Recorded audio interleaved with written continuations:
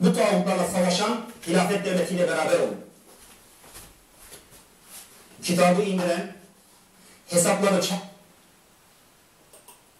Selamet üzerinize olsun güzel kardeşlerim. Bugün bu şar- şarlatanların size sizi davet edişine karşı bir video yapmak zorunda kaldım. Halbuki başka bir düşüncem vardı. Ateistlere karşı bir cevap vermek istediğim bir e, onların getirdiği e, tuhaf aldatma hilelerine karşı bir savunma videosu yapmayı düşünüyordum.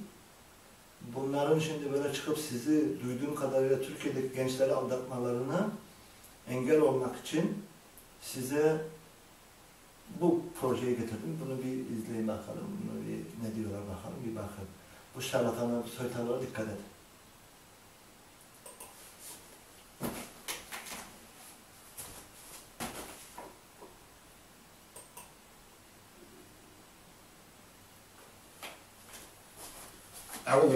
Mineşşeytanirracim. Bismillahirrahmanirrahim. Elhamdülillahi rabbil alamin. Ves salatu vesselamu ala rasulina Muhammedin ve ala alihi ve sahbihi ecmaîn. Amma ba'd. Allah Subhanahu ve Teala bize minnette bulunarak Raşid halifelerin askerlerine Hanif dinin mesajını taşıttı. Ve bizim kavmimize kadar ulaştırarak bizim de Müslüman olmamızı sağladı.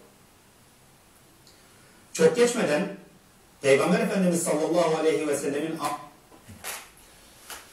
Ha, güzel kardeşlerim. Bakın.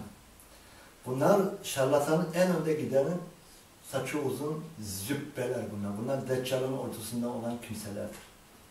Bunlar şimdi az sonra dikkat edeceksiniz. Ben size birkaç tüyo vereyim. Kur'an'ın içinde sizi davet eden bilgilerin tam tersini şey yapıyor. Sizi savaşa, şeytanın arzu ettiğine sizi gönderiyor. Ama Allah'ın ismini kullanarak. Kur'an'da oysa diyor ki Allah'la sizi sakın bunlar aldatmasın. Bunlar aynı bunu yapıyor aslında. Dikkat edin. Hocalarımız bugün size Kur'an-ı Kerim'i Arapça okuyun. Anlamasanız da manasını Allah anlıyor. Siz sevap kazanırsınız demesiyle sizi bugüne kadar getirip Türkçeden okumadan engel olup babanızın annenizin de engel olmasıyla sizin bilgiden yoksun kalmanız bugün ve böylelerinin işte oyunlarına alet oluyorsunuz. Buna hocalar da suçlu bugün Türkiye'deki hocalar, Avrupa'daki hocalar ve kendi ebeveynleriniz de suçlu. Onlar da bir demedi ki bir bakalım. Oysa bir hakarettir. Kur'an-ı Kerim Arapça okuyarak anlamadığınız dilde okuyup sevap kazanacağınızı beklemeniz, böyle bir şeyi Allah sizden beklemesin Allah'a bir hakarettir.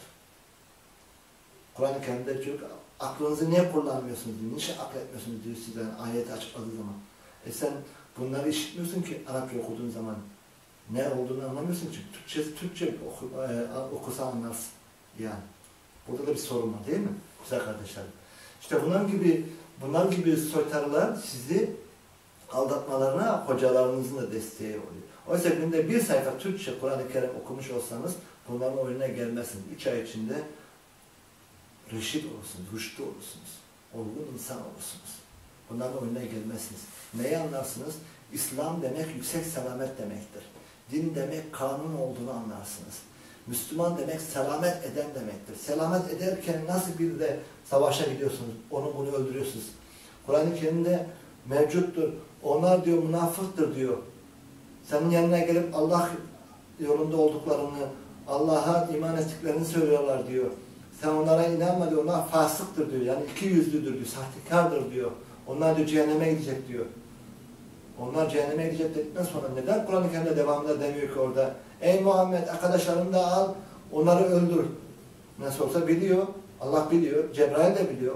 Allah'ın ona bildirdiğine göre. Neden öldürtmüyor? Çünkü mahşerde hesap görülecek. Yaşaması gerekiyor. Demek ki öldürmek yok Kur'an-ı Kerim'e göre. Anlatabildim mi? Bunun gibi Medine'de yaşarlarken Yahudiler de bunlarla aynı anda yaşıyorlardı orada, Medine'de yaşıyorlardı. Kafir kalanlar da yaşıyordu. Ve mümin olmuş insanlar da yaşıyor. Hz. Muhammed'le beraber. Aynı şehirde. Ve onlara saldırma yoktu. Kim saldırırsa savunursun. Savunma var. Anlatabildim mi güzel kardeşlerim? Hadi siz bunları bir dinleyin. bu cehaletinizden nasıl size bir tragedi, nasıl bir dram çiziyorlar, nasıl bir proje var dikkat edin bunlara. amcasının torunları Ben de sizi rahatsız etmeyeyim. ve onların torunları olan Abbasi hilafetinin bir rüknü haline geldik. Bu hilafet altında cihat ve tevhidi ayakta tuttuk. Biz dinimizle güçlüydük ve peygamberin amcasının torunlarının yardımda çok şiddetliydik. Daha sonra bazılarımız dünyaya tamah etti. Bazılarımız batıra daldı. Bazılarımız da sözüne ihanet etti. Hatta bazılarımız kabirlere taptılar ve Allah'ın kanunlarının dışında kanunlar çıkarttılar. Daha sonra laik Kemal Atatürk geldi. Ve Türk halkına dinlerini inkar etmelerini ve laikliği dayattı. Bu şarlatan sahtekar. Bu sahtekar neden sahtekar size şunu söyleyeceğim. Ben zana girmem. Zanın çoğu pisliktir. Kur'an-ı geçer. Şeytandandır. Sizi ziyana götürür. Madem Atatürk konusunda açmışken bunu söyleyeyim size. Elmalı Hamdi Yazır'ın ilk kez Türkçe meal yaptı Kur'an-ı Kerim'i. Ki millet okusun diye. Buna kim yaptırttırdı? Atatürk yaptırtmış. Bu söylenir de tarihte de geçer. Bunu kimse inkar etmiyor. Ona karşı olanlar da inkar etmiyor. Bakın. Madem bu kadar kötü bir insan neden milleti uyandırmaya çalışıyor Türkçe okutarak? Neden? Katolikler de bir zamanlar okutmazdı kendi dillerinde halka. Latince okurlardı. Onlara cennet satıyorlardı. Kandırıyorlardı böyle. Papazları, rahipleri. Buna karşı bir Martin Luther çıktı. Bugün Almanya, İngilizler falan herkes kendi dilinde okuyabiliyor ve idrak ediyorlar ne beklendiğini İncil'de. Aynısını Atatürk de istedi milletine. Milletim de anlasın, Türktür, anlasın ne olduğunu, Allah ne istiyor diye Elmalı Hamdi Yazır'a ya- meal ettiriyor. Böyle. Bu mu kötü bir adam? Bu mu İslam'ı durdurmaya çalışmış? Aynı kişi, Atatürk dediğiniz kişi masonları ülkeden kovdu, kapattırdı, paralarını elinden aldı, gasp etti, halk ocağı açtırdı Türkiye'de. Halk ocağına şehirler içinde paylaştırdı ki halk evlerinde Türkler sanat görsün, meslek öğrensinler. O paraları oraya kullansın. Bunun karşılığında 10, 10 yıl sonra da Masonlar gizlice doktor Atatürk'ün doktoruna işi bitirdiler. Atatürk gitti öldü. Öldürüldü. Zehirlendi, öldürüldü. O şekilde bir, aynı Michael Jackson'ın bugünkü durumdaki gibi. Michael Jackson da bu yeni dünya düzeni dediklerinde çalar kafa tuttu.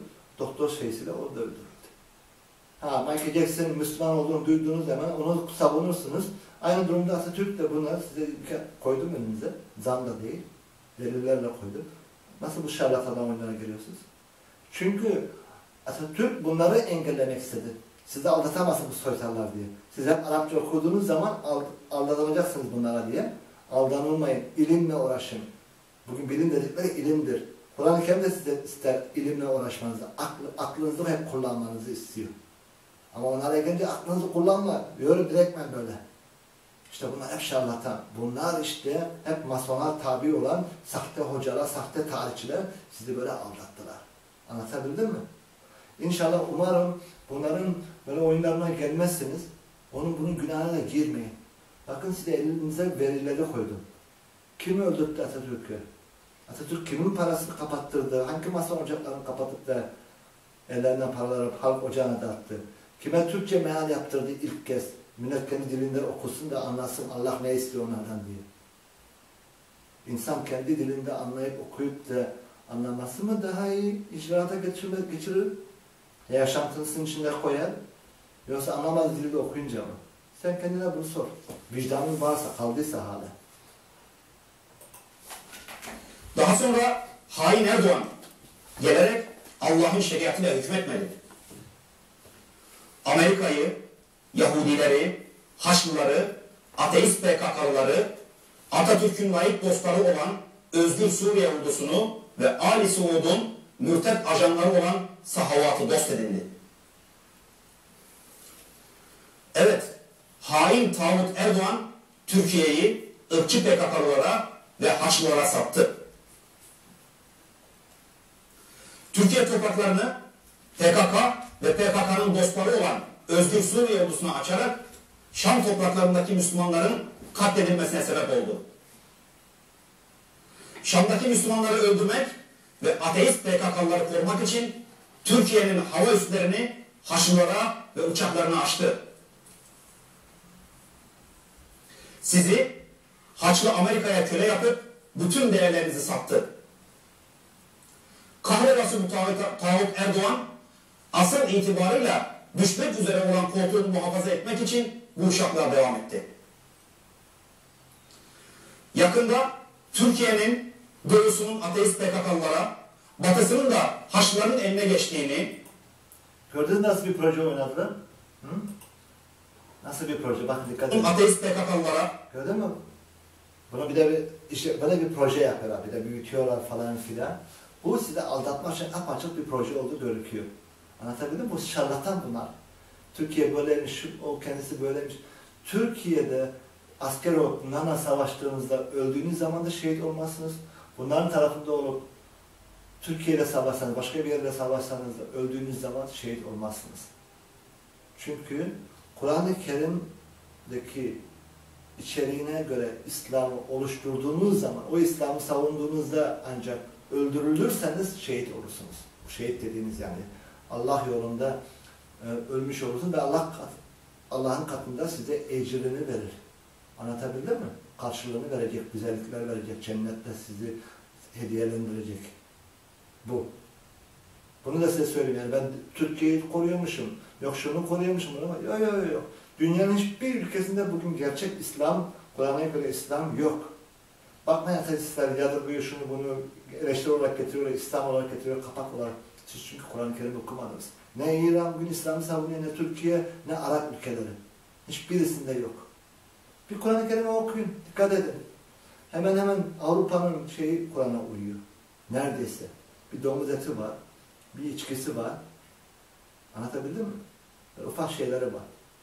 Yoksa ahlaken daha çok Kur'an'a daha yakın. Kanunları falan. Dikkatli olun. batısının da Haçlıların eline geçtiğini ve o topraklarda fesadı yaydıklarını, çocuklarını öldürdüklerini, kadınların ırzlarına geçtiklerini, malları gasp ettiklerini ve sizi kendilerine köle yaptıklarını göreceksiniz. Bu sizi bekleyen büyük bir tehlikedir. Sizi ikaz edip size nasihat etmek ve Allah Subhanahu ve Teala'nın sevdiği ve razı olduğu şeye sizi davet etmek bizim üzerimize vaciptir. Samimi olsa Allah ve Teala böyle konuşmaz. Anlatabildim mi? Bunu böyle yapmaz. Ne der? Ne- Türkçe sana söylerdi. Her şeyden münezzeh olan Yüce Allah derdi. Değil mi? Muhammed diyor sallallahu aleyhi ve sellem diyor. Allah onu korusun ve onu selamete erdirsin diyor. Allah ona iştirak etsin ve onu selamete yöneltsin. Allah zaten onu cennete aldı. Arkadaşlarını da aldı. Sen kendine bak, yanındakilerine söyle bu, bu dilekte bunu. Samimiyet burada. İşte Arapça koyunca sizi böyle çocukluktan aldınız ya bunu. Camilerde hocalar, televizyondaki çıkan hocalar hep böyle bir Arapça koyarlar, bir marka yaparlar. Bu süslemedir işte. Sizi böyle aldatıyorlar. Kalmayın bunların oyununa. Kur'an-ı Kerim anlamanız için size gönderildi. Hepimize gönderildi. Ey Türkiye halkı! Vakit geçmeden sizin bu ateistlere, Haçlılara ve sizi kandırıp Haçlılara köle yapan bu tağutlara karşı ayaklanıp onlarla bir an evvel savaşmanız lazım. Bundan önce de bu hain tağutun arkadaşlarınızın başınıza musallat olmasına neden olan esbaplardan tövbe etmeniz gerekir. Şunu da söylemeden belirtemeyeceğim. Demokrasiyi, laikliği, beşeri kanunları, kabilperestliği ve bunların dışındaki tağutları inkar edin. İstediğiniz zaman, istedikleri zaman ben bu adamla tartışmaya hazırım. Televizyonda tartışmaya hazırım. Kimin yalan olduğunu ortaya göreceksiniz. Ben Kur'an'la Kur'an'la getireceğim. Bilgileri aktaracağım. Göreceksiniz soytarın sahtekar olduğunu, şarlatan olduğunu, Deccal'ın ordusundan olduğunu göreceksiniz bunların. Bunların İslam'ı savunmadığını göreceksiniz. Kara cahil olduklarını bunları anlayacaksınız. Tek yeter ki Kur'an-ı Kerim okumuş olsaydınız zaten bilirdiniz. Ben bunlara hazırım. Her zaman tartışmaya hazırım. Siz gerçekten Allah yolunda savaşmaya mı istiyorsunuz? Allah yolunda bir şeyler mi yapmak istiyorsunuz? Savaşmaya lüzum yok. Kur'an-ı Kerim'dekini yapın. Tebliğ edin kafir dediğiniz kimselere. Tebliğ edin onlara. Doğruyu, hakikati anlatın. Sabırlı olun konuda da. Onlar tabi biraz ön yargılı bunları gördükleri için hemen kalkıp pıf pıf yapar. Siz sabırlı olun. Siz hakikati anlatın onlara. Kur'an'dan onlara bir şey, bir bilgiler verin, bir dipnot verin. Hemen onlar uyanacak. Bu bizim eski kitaplarımızdaki de Tevrat'la, İncil'le de benzerliği var deyip açıp okumak isteyecekler. Ve ondan sonra mümin olma ihtimaller olacaklar. Müslüman olacaklar ilkin. İşte bu Allah yolunda mücadele etmek demektir. Anlatabildim mi? Ama bunu kapatıyorlar, sizi bu tarafa götürüp bramboculuk kendileri için yaptırıyorlar. Anlatabildim mi? Ha, kendi belli bir yaşa kadar gelmiş bir şey kapanmamış. Ha, burada yeni bir şey oluşum oluyor. Ben de burada gidip yapayım. O zaman yarın ben de şurada burada iş bittiği zaman memur olurum. Bunun satılık belki peşine koşuyor. Ne biliyorsun? Anlatabildim mi? Ne içinden geçirdin ne biliyorsun? Ama sen Kur'an-ı Kerim'i oku, sen kendinden en azından emin olursun. Ya. Öyle konuşmalarını Arapça içine süslemeyle koymayla yemeyin bunların oyununu. Tamam mı? Hocalar demiş ki siz e, Kur'an'ı Arapça okuyun sevap kazanırsınız. Anlamazsanız da Allah manasını zaten biliyor. Gönderen Allah. Sen manasını bilmen lazım. Sen. Sen de ancak Türkçe okuduğun zaman manasını bileceksin. Manasını anlarsın. Bak nasıl Allah'la böyle alay ediyorlar. Sizinle hakaret ediyorlar. Sizi böyle inanarak Allah'a hakaret ettiğinizi koyuyorlar ortaya. Hem Allah yolunda gittiğinizi söylüyorsunuz hem de Kur'an-ı Kerim'i günde dört dakika bir sayfa okumuyorsunuz. Nerede? Allah için siz ne yaptınız? O dört bir sayfa okuduğunuz zaman size yarar olacak. Gene Allah'a değil. Kendinize yararı, yararı olacak. Faydası olacak. Madem illa istiyorsunuz hizmet etmeyi Allah'ın katında. Hadi ben size diyor ben Mehdi'yim. ispat edebiliyorum. Hem de dört dakika içinde ispat ederim diyor. Canlı yayına çıkabilmek için televizyona, büyük televizyona birine çıkabilmek için bana gelin yardımcı olun. Ha senin gibi herkes sahte Mehdi çıkıyor. Benden sonra Harun Yahya denilen Adnan Oktar, Adnan Gerez kişi bu Karadeniz'de bir sahtekar bir Mehdi çıkarttı. Azerbaycan'da bir tane sahte Mehdi çıkarttı, Türkmenistan'da bir tane çıkarttı. Böyle böyle ortalara çıkarttırıyor. Ben de siz sahte görün diye. Peki bize kardeşim kafanı kullan, aklın var. İspat olduktan sonra isterse bin tane sahte Mehdi çıksın, kendisini ilan etsin. İspat edemiyorlar durumları. Ben ispat etme imkanım var iken seni ne alıkoydun? Öyle ya.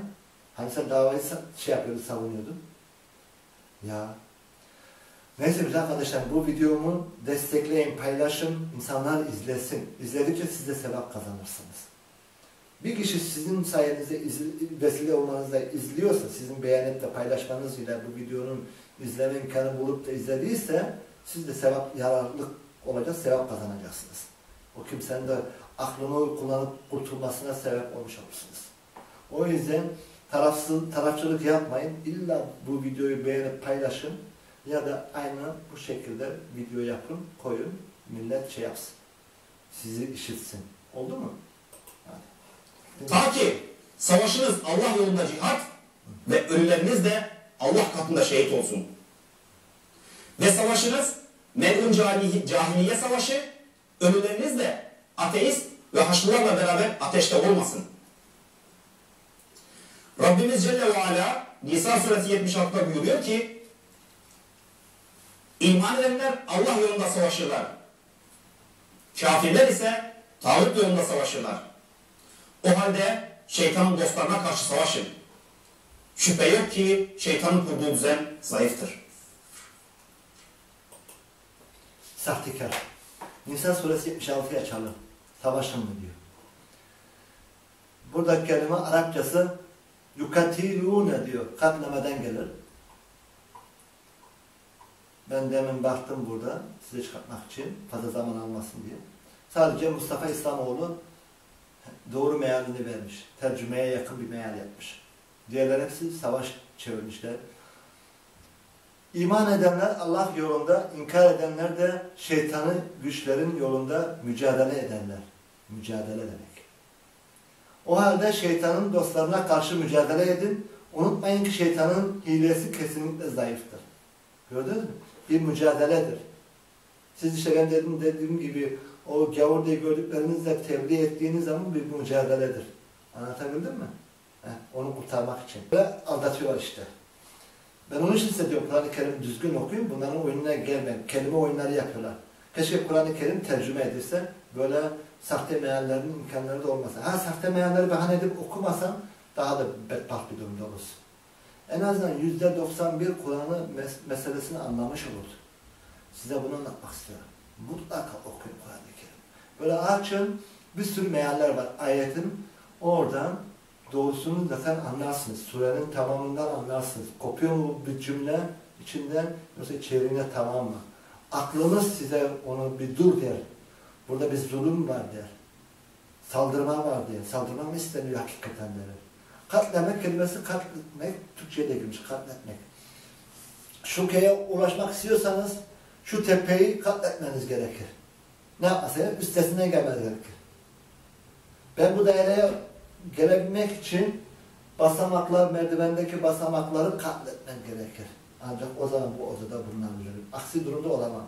Gördünüz mü? Ya. Hadi güzel kardeşlerim. Bunların oyunlarına, hilelerine gelmeyin. Kendinize iyi bakın. Selamet üzerinize olsun.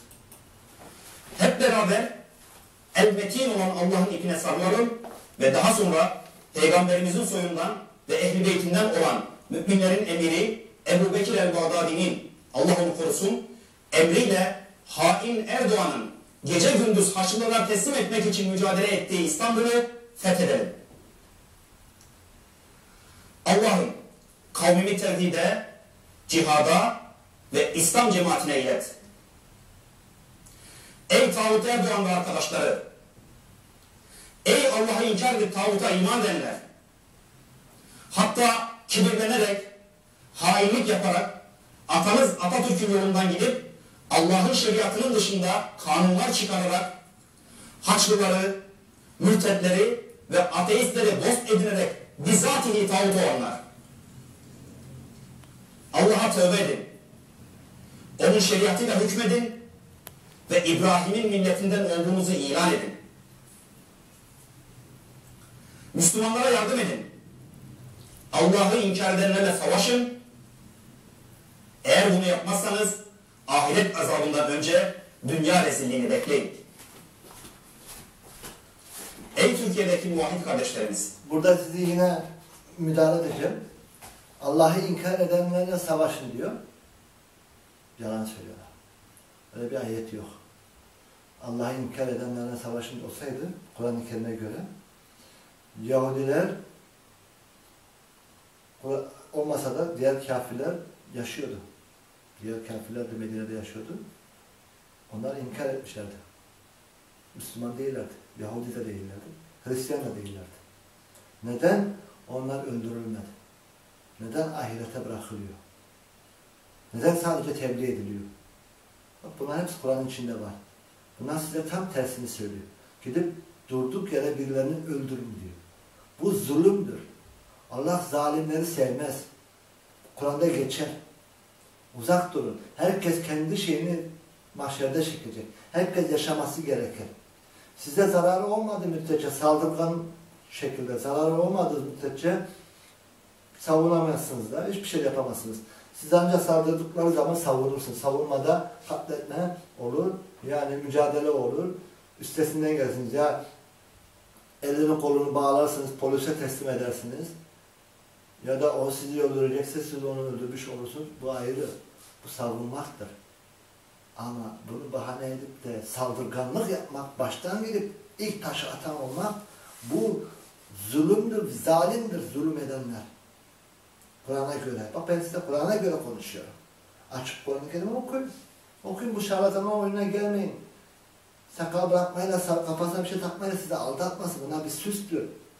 Elime geçer bunun bir tıraşını yaparım, kafasına nasıl cırlop gibi bir insanda olduğunu anlarsınız. Hemen bir uyan, uyanırsınız. Derin uykudan çıkarsınız. Artık vazgeç. İmana gelin, samimiyete yönelin. Bu fasıklara, sotalara kanmayın. Bir gün Hazreti Muhammed'e şeyler geliyor. Hmm, Kur'an'da geçer bu konu. Bu e, kendisi kafir kesimle anlaşmış. Anlaşması var Hazreti Muhammed'in. Savaş olmayacak iki tarafta da diye. Sınırda da Müslüman gezinen sözde bir kabile var. Bu kabile rahat durmuyor. Gidiyor anlaşılan e, kafir kabileyle saldırıyor ve onları öldürüyor, katlediyor, kötülük yapıyor, bir sürü kötülük yapıyor. Ondan sonra çıkıp geri geliyor, mevkinde duruyor. Ancak intikam için geri dönen bu kafir kesim, zulüm görmüş olan kafirler, diğer kabiledeki akrabalarını da toplayıp kalabalık şeklinde bunların üzerine geleceği zaman bunların kuşçuları bunu görüp bunlara bildirdiği zaman bunlar hemen bir yolcu gönderip Hz. Muhammed'e gönderiyorlar. Başka şehirde olan Hz. Muhammed'e gönderiyorlar haber. Ama bize asker gönder, yardım et, bize saldırmaya geliyorlar. Çoklar. Hemen ayet iniyor. Sen sakın onlara yardım etme. Onlar ilk başta saldırdılar diyor. Onlar ilk saldırdılar diyor. Sen anlaştığın kişilere diyor, kafir kesimlerden diyor, hemen onlar diyor ilk saldırdı diyor. Kafirler saldırmadı diyor. Sen ama onlara, ona rağmen gidip yardım edersen diyor, Allah senin üzerinden elini çeker ve sen de ziyana uğrarsın diyor ve yanında da kimse bir yardımcı bulamazsın diyor. Hz. Muhammed'e bunu söylüyor. Ve Hz. Muhammed asker masker göndermedi. O Müslüman gezinen sahtekarlara yardım etmedi. O saldırıya uğramış kafirler gelip onları halak, mahvetti. İntikamlarını aldı. Bak bir şey. İşte Allah böyle yardım etmiyor. Allah saldıranlara yardım etmiyor. Bunlar sivil insanlara. Madem Allah'ın davasını güdecekler, tebliğ edin insanlara. Tebliğ edin, hakikati konuşun. Sokaklara çıkın, hakikatleri konuşun, tebliğ edin. Size saldırmaya kalkarlarsa savunursunuz o zaman kendinizi. Tebliğ ediyorsunuz diye size savun, saldırıyorlarsa o zaman savunursunuz. O zaman Allah yolunda da savunmuş oluyorsunuz. Ya doğrusu işte bu bak. Ben onun için istedim Kur'an-ı Kerim. Hadi selamet üzerinize olsun. Bu şarlatanı artık daha izlemeye lüzum kaldı mı? Bence yok. Hadi. Nerede olursanız olun, imkanlarınız nispetince devletiniz olan hilafet devletine yardım edin. Buralara